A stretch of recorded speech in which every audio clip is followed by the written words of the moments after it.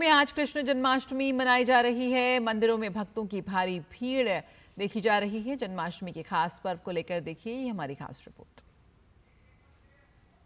जय श्री कृष्णा। श्री कृष्णा एक ऐसा नाम जो समस्त संसार को संपूर्णता प्रदान करता है, जो कि मानव जीवन का आधार है।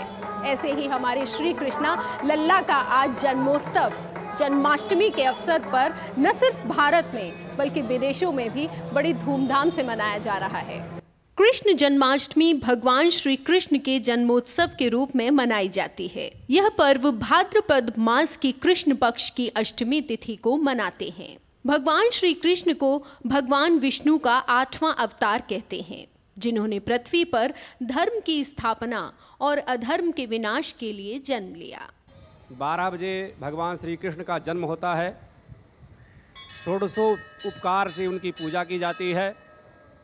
पंचामृत इत्यादि से हम लोग सभी ब्राह्मण मिल कर के और मंत्रों से पूजन करते हैं। भगवान कृष्ण का बोलबाला है और उसके भक्त भी हैं।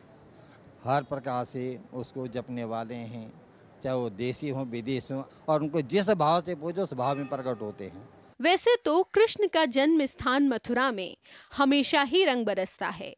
लेकिन अगर बात कृष्ण के जन्मोत्सव की हो तो आज के दिन मथुरा में अलग ही छटा दिखाई देती है। जन्माष्टमी के अवसर पर कृष्ण की दही हांडी फोड़ने के जैसे विशेष कार्यक्रमों का भी आयोजन किया जाता है। भक्तगण पूरा दिन सुबह से भगवान श्री कृष्ण की स्तुति और उनकी लीलाओं को याद करके गुणगान करते हैं। तीन चार दिन से काफ़ी जोश है सभी में।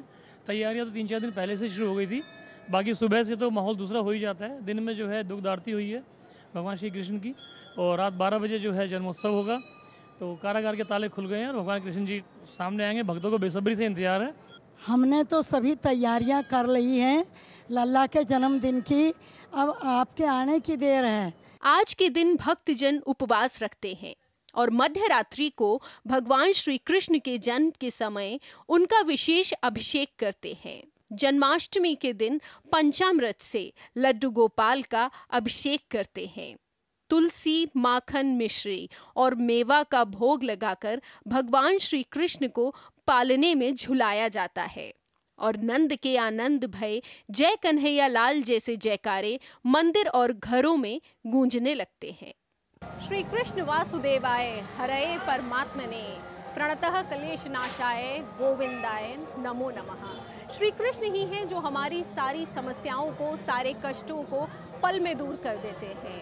तो आप भी जाइए श्री कृष्ण की शरण में और जाकर अपने सभी दुख परेशानियाँ उनके चरणों में सौंप दीजिए।